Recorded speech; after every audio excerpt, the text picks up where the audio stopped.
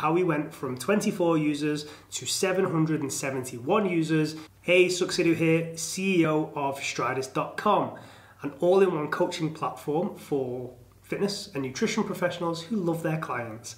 I'm not going to talk too much about the platform today. If you want to check it out, I'll put a link below this video and you can grab a free trial and have a play around with it. Um, what I'm going to do in this video is talk you through our launch, how we went from 24 users to 771 users in the space of three weeks. We'll be sharing the highs, the lows, the challenges, and a play by play, play of how we added those users. going to be as transparent as I can be. Before we dive into all that, make sure you subscribe to the channel if you've not already done so, and just give this video a like because it helps with our performance in the YouTube newsfeed. So all that said, uh, I want to break this video down into a few a few parts. The first one I'm going to do, eh, or the first part I'm going to cover is a quick backstory for those of you who don't already know. I have done a couple of videos on this already, um, but we acquired the platform in November 2021 and then we spent four months just heads down in development. And I wouldn't normally recommend that. I'm a big fan of people just getting out there, putting their products out in the world, and learning through doing. However, I've got an existing audience in the space and I couldn't just put anything out to them because there are some established competitors already.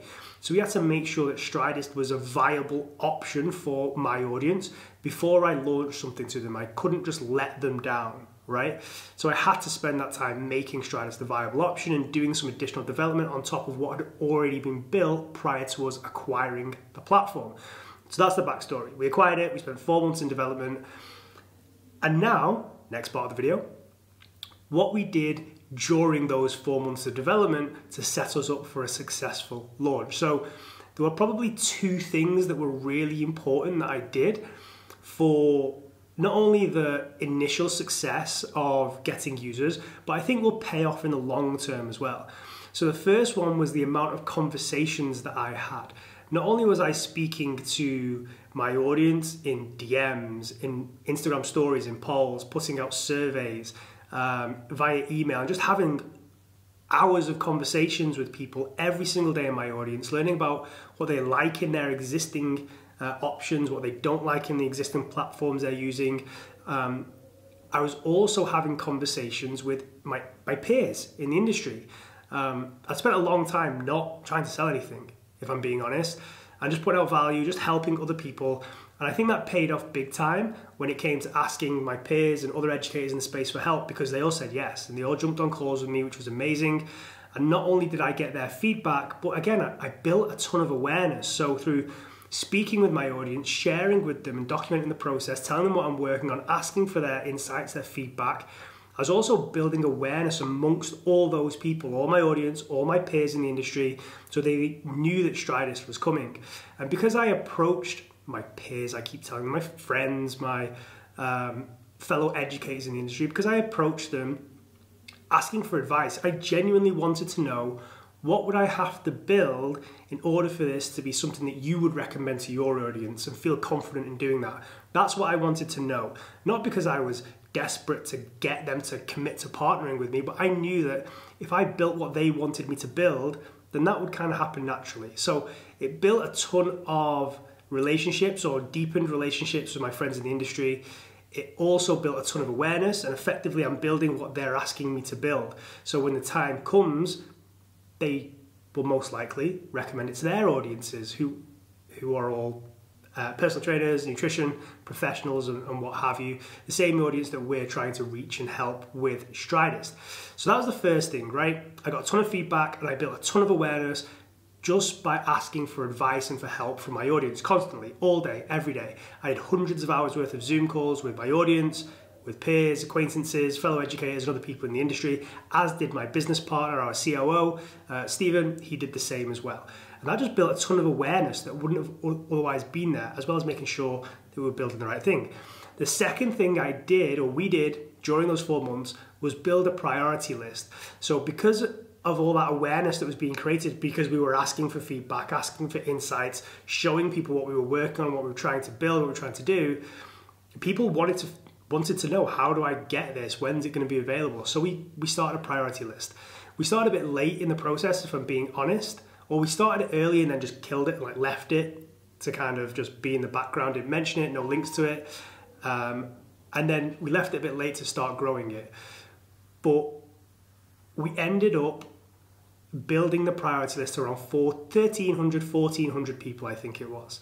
Um, and we gave everybody on the priority list 24 hours access, 24 hours early access before public, um, which was important because a couple of our packages were limited in numbers. Uh, and that it worked really well. Again, all, a lot of these people had been involved in the creation process. They felt part of the process. They knew we were building something that they wanted. They knew we were listening to them, and they had faith in myself and the team to build something that would be right for them. So they'd been involved in the process. They joined the priority list, and because there were 1,400 people on the priority list, I assumed that that would mean we would get around 300 users. Not the case. So this brings us on to the next part of the video was what happened at launch. And this was both amazing and devastating at the same time. So the morning of the launch of the priority list, we actually ended up with 305 or 306 users within the first hour of launch, which was my target for by the end of the week. So in an hour, we'd hit that target. But then something really bad happened that killed our momentum, the social media buzz, the virality, and a few other things I'll touch on in a moment and the platform slowed down to a point of being unusable. So it ended up being a silly um, issue with the site. Basically, we needed to upgrade our database. It was one click of a button, but it took us a full day to figure that out. And in that time, or just under 24 hours, in that time, we lost all momentum. Um, not only, but so the word of mouth was absolutely buzzing on social media. Everyone was posting about Stridist in that first hour, and that kind of fizzled out. And not only that, but the plan was to launch our referral program on that first day as well at the peak of virality, at the peak of momentum, at the peak of that social media buzz.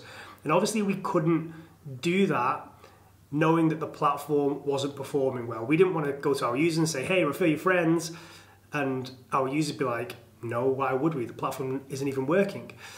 So we had to delay that, which again probably impacted uh, the outcome of the launch somewhat because we were moving quickly in that first hour. And I, I actually think that we probably missed out on a few hundred additional users had that not have happened, maybe even more. Um, it was really taking off. So that was a bit hard to take, but at the same time, we still had a better outcome than I initially expected.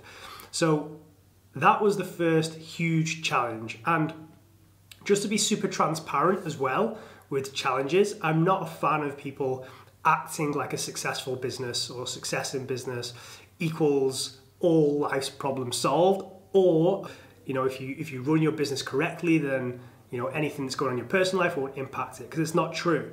Uh, i actually lost my dad during or just before the launch of stridist and it, it had an impact. I went missing a little bit. I wasn't performing in my business as well as i could have. But that's totally normal right? My dad passed away and all kinds of other stuff. Like, for example, I couldn't get home. I live in Dubai, he's in the UK. I couldn't get home for the funeral because I'd sent my passport off for renewal. I couldn't get an emergency passport because that would cancel my visa and I'd lose my residency status here in Dubai. Absolute chaos going on in my personal life, sadness, loss, grief. And that impacted the launch as well. So I'm just saying that to be super transparent. Yes, we, we added 700 plus users uh, in the first three weeks but it's not been a great time for me personally, and it was impacted by what's been going on in my personal life. So, with that said and done, um, the launch day was what it was. We got 300 users in the first hour, trickled over a few more during that first day. Then we kind of had to kickstart again about two days after launch once the platform was working fine. Uh, and we ended up at about 600 users by the end of that first week. We, we rolled our uh, referral program out a little bit late, but we've still had around 130, 120, 130 referrals. Um, and now, today, three weeks later, we are up to 771 users at the time of filming this video. Most of our users are on free trials, but we've got a healthy amount on paid packages as well. And obviously, in the next few weeks, um, a lot of people will be upgrading to paid packages as well, and then we'll see where we are financially or get a better picture of where the business is in terms of MRR uh, and revenue.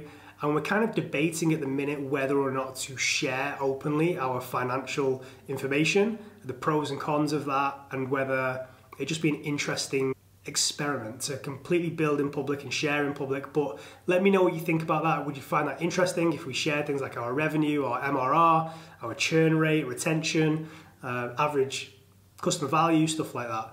Uh, let me know in the comments below. Hopefully you've enjoyed this video. That was our launch. It was chaos. It was successful. Could have been better. and we faced plenty of challenges too. Hope you've enjoyed the video. Plenty more to come in this series. Make sure you click subscribe and like this video. And I'll speak to you all soon.